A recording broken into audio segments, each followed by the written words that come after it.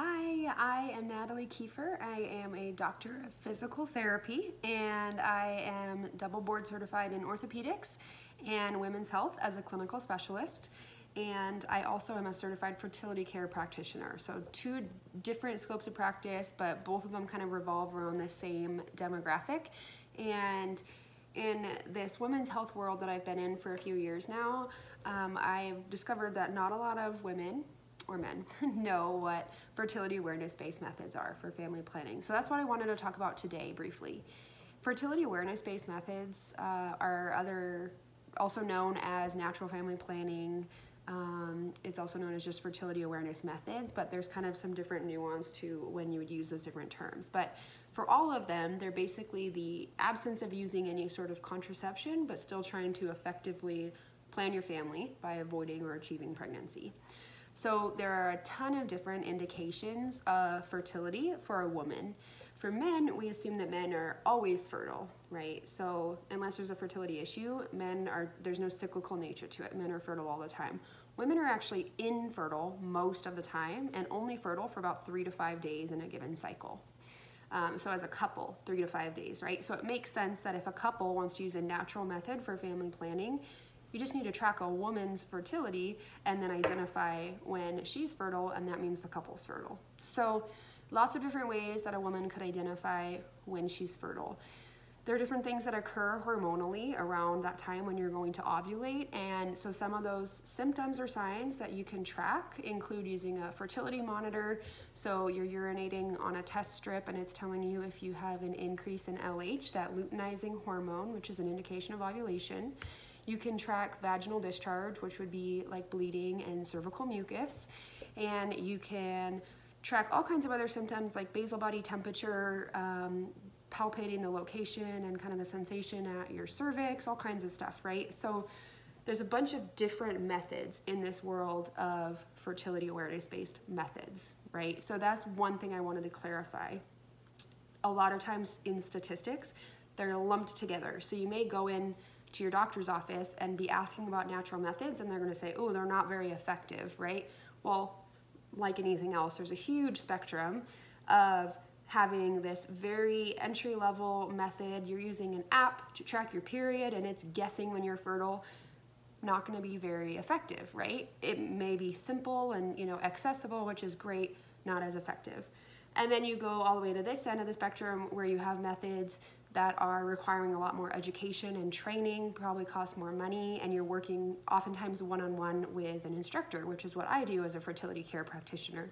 So I'm kind of more on this end of things where I'm really kind of walking hand in hand with a couple to learn how to identify their fertility, and that's why this end is actually very effective for avoiding and achieving pregnancy. So that's the first thing to keep in mind. They're not all created equal.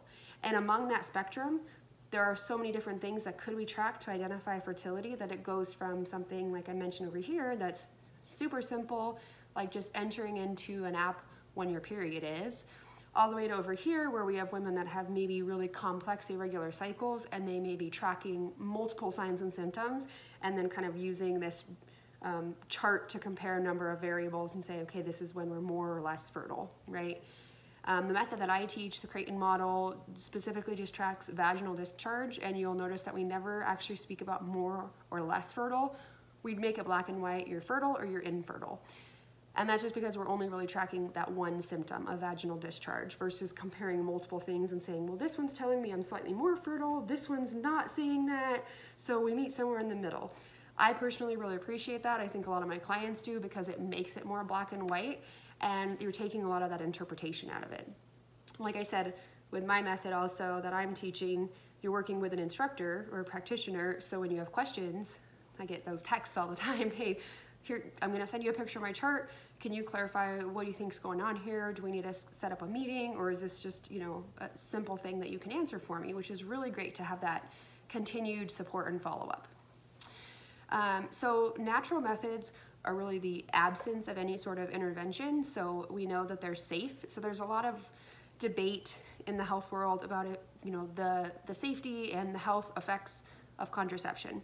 I don't want to get into all of that right now, but I think we can all identify, you know, there, there may be some benefits, there may be some um, adverse reactions, it's definitely much more invasive. Most forms of contraception are invasive.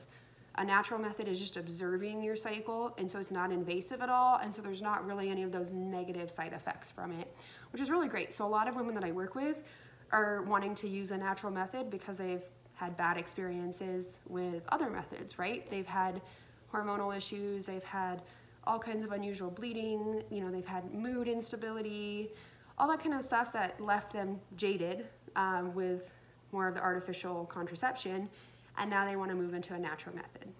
The final thing I want to tell you, just to kind of summarize fertility awareness based methods, they're not just for avoiding pregnancy. So it's really hard to compare them to contraception because it's apples and oranges. Um, a natural method is meant to help a couple identify fertility and infertility, and with that knowledge, that couple can decide to avoid or to achieve pregnancy. So that's something that contraception can never offer. It's not going to help you get pregnant, right? So for most people, for most couples, there is going to be a time where then they're like, okay, we want to switch our, our intention here from trying to avoid to trying to achieve. And that's where a natural method is awesome because you haven't done anything to mess with your body chemistry. So you are able to just immediately make that switch and make that decision without having to wait any amount of time for fertility to return or anything like that. And you have the added benefit of actually knowing when you're fertile, so you're just more likely to get pregnant more quickly with what we would call fertility focused intercourse. You're just aware of when you're fertile, right? So obviously it's gonna be easier to get pregnant than random acts of intercourse. So, so many different types of fertility awareness based methods something that could fit pretty much anyone's needs, which I think is fantastic. But remember that they're not all created equal and they are not the same as contraception and they may be a really good alternative to the invasive methods that you may have been using for family planning. So hopefully that was helpful.